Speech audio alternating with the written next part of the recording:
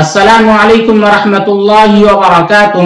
آج ستائیس محرم الحرام سن چودہ سو بیالیس ہجری ہے۔ آج کی حدیث مبارکہ آپ کی خدمت میں پیش کی جاتی ہے، جس کا عنوان ہے پڑوسی کے حقوق۔ نبی کریم صلی اللہ علیہ وسلم نے ارشاد فرمایا، لا يدخل الجنت من لا يأمن جاره بوائقه جس کا ترجمہ ہے کہ وہ شخص جنت میں نہ جائے گا، جس کا پڑوسی اس کی ایزاؤں اور تکلیفوں سے محفوظ نہ رہے۔ اس حدیث مبارکہ کو مسلم میں روایت کیا گیا ہے۔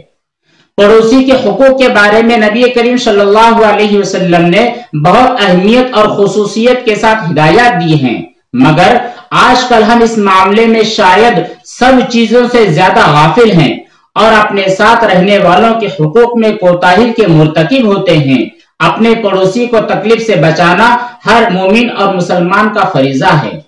عام طور پر یہ دیکھنے میں آتا ہے کہ ہم اپنے گھر کا نکالا ہوا کوڑا، کرکٹ اور گندگی دوسروں کے گھر کے سامنے ڈال دیتے ہیں۔ اپنے مکان کی تعمیر اور تزئین ایسی کی جاتی ہے کہ پڑوسی کو اس سے بے پردگی اور کم مائگی کا احساس ہوتا ہے۔ یا تعمیر وغیرہ تو مناسب ہوتی ہے مگر وقت بے وقت چھتوں یا کھڑکیوں کے سامنے آ کر ٹانگ جھاک کر کے دوسروں کو اذیت میں مبتلا کرتے رہتے ہیں۔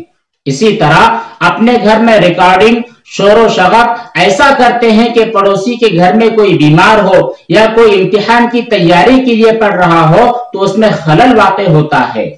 اور اس سے مراد صرف مکان کا پڑوسی نہیں ہوتا، بلکہ سفر کا پڑوسی، بازار اور دکان کا پڑوسی بھی پڑوسی ہے۔ اور وہ بھی انہی رعایتوں کے مستحق ہے اور انہیں بھی کوئی تکلیف نہیں پہنچانا چاہیے۔ نبی کریم صلی اللہ علیہ وسلم کی یہ بہت پیاری حدیث مبارکہ ہے۔ اگر ہم اس پر عمل کریں گے تو انشاءاللہ ہمارے جتنے بھی اڑوس پڑوس کے رہنے والے ہیں، ہمارے ان کے درمیان میں رہنے کی وجہ سے وہ ہم سے خوش ہوں گے اور ہمارے دین اسلام کی تعریف کریں گے اور دین اسلام ان کی دلوں میں اترے گا۔